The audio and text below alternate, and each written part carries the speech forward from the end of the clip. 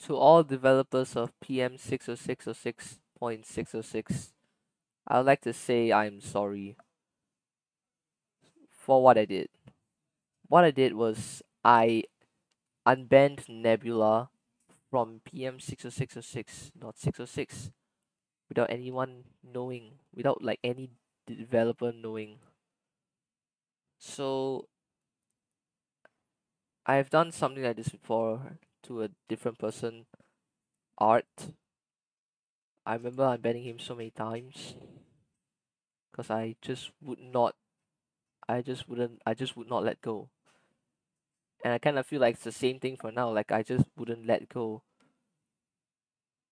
I unbanned him because I felt like I just felt that he could be forgiven and you know that what that's that was what made me unban him.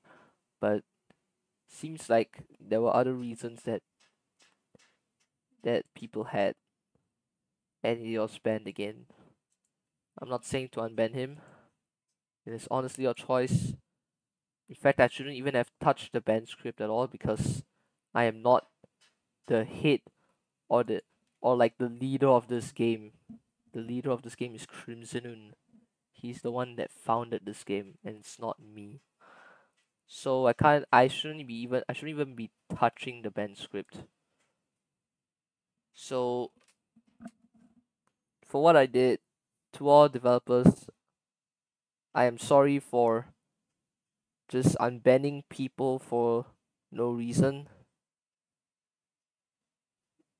And you know I hope that you guys can I hope you guys can take this video as an apology, as an actual apology, and forgive me for what I've done.